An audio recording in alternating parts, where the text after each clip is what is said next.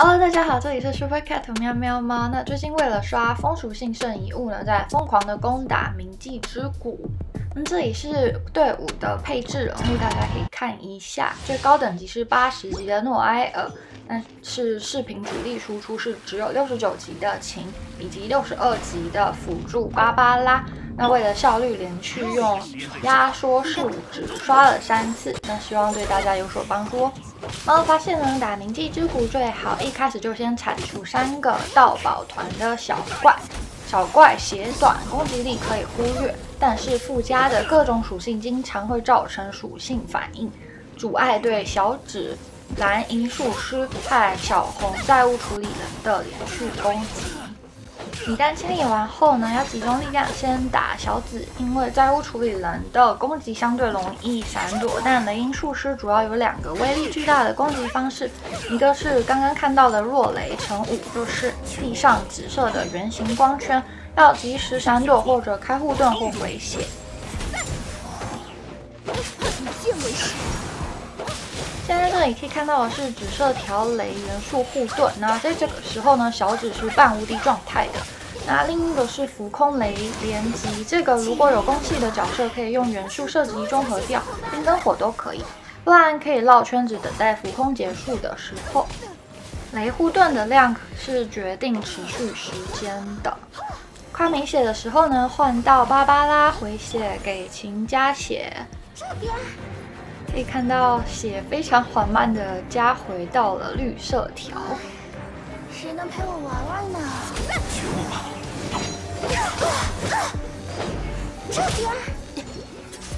对债务处理人呢，可以用水或火攻击标记一下，这样就算他隐身也依然可以看到。你走不了。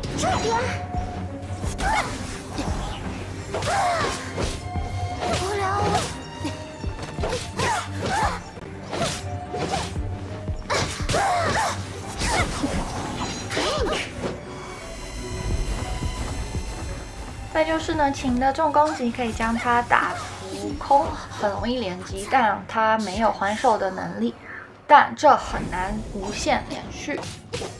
所以就是一直用重攻击打他，然后把他打到浮在天空上，这个时候就可以一直很容易连击。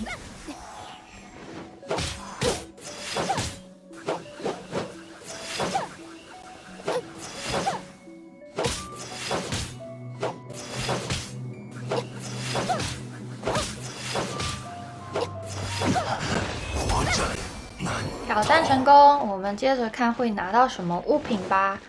然后接着第二刷。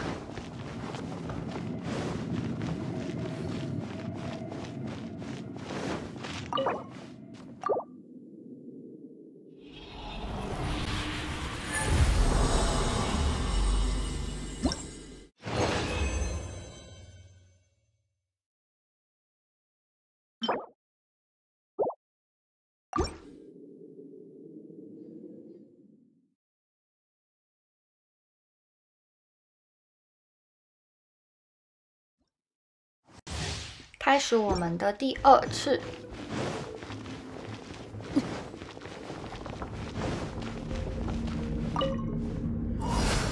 又一个鱼来着。既然要我就多点。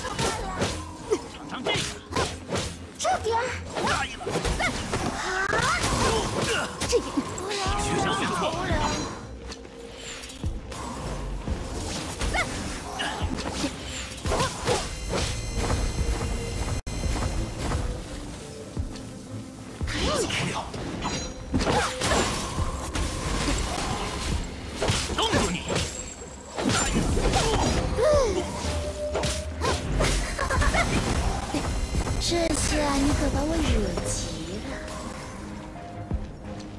你走不了，冻住你！见为上。这下选错了。冻住你！觉悟吧。这些孩子们太出出戏了。小魔仙芭芭拉出场，元素爆发的时候可以挽救濒临死亡的角色，释放的时候是无敌的。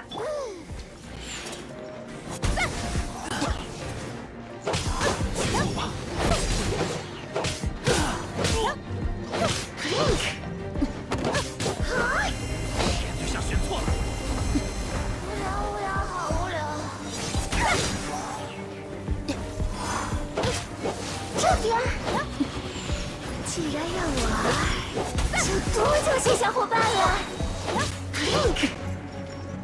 想逃吗？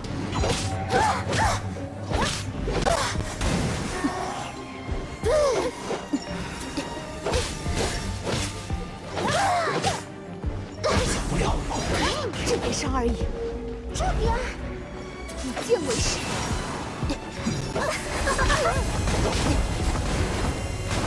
可真快，好我开心。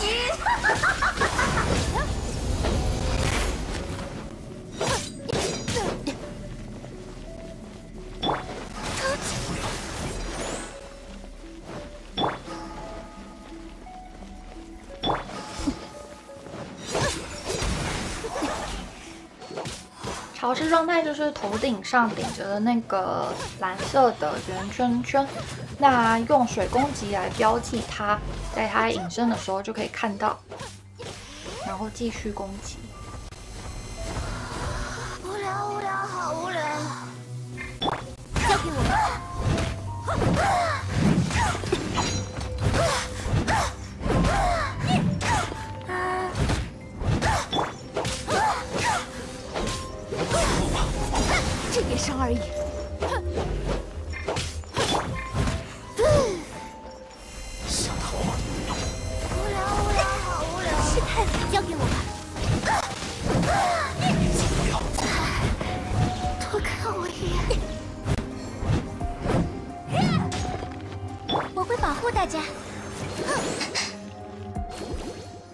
水附加的潮湿状态可以知道隐身的小红。看到现在隐身的话，还是追得到他，可以知道他在哪里，对他使出攻击。想逃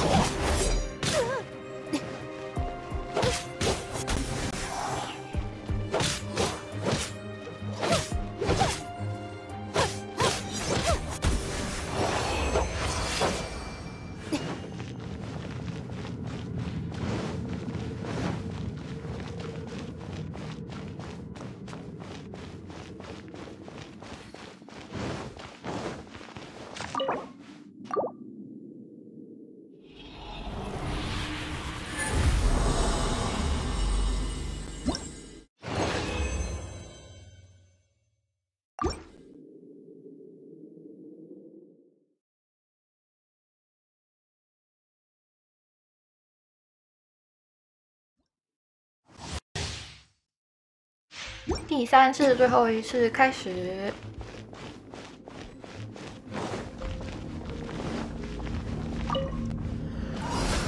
又一个实验对象，我还的梦竟然有我。多谢小伙伴了。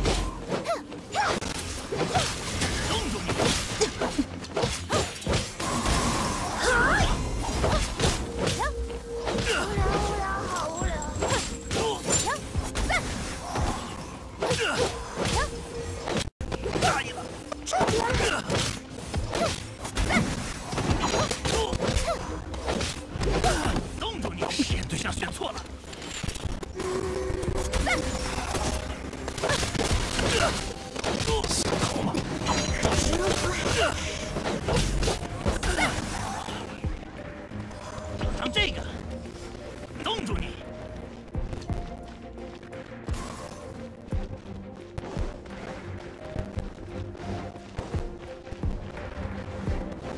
冻住你！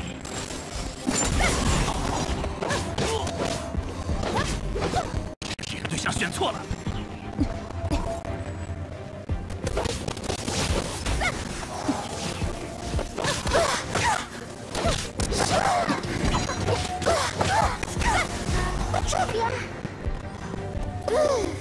风之神，请指引我。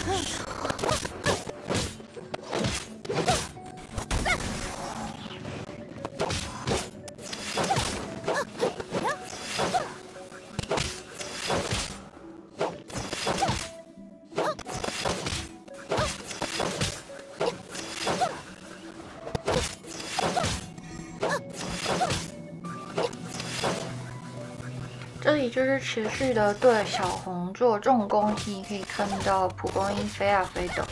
那重攻击打呀打，用火标记，然后就呈现燃烧状态，可以看到隐身的小红挑战成功。好啦，谢谢大家收看这次的辛苦低等级攻打九十级铭记之谷。那大家喜欢的话，请点 like 跟 subscribe 我的 channel 哦，谢谢，拜拜。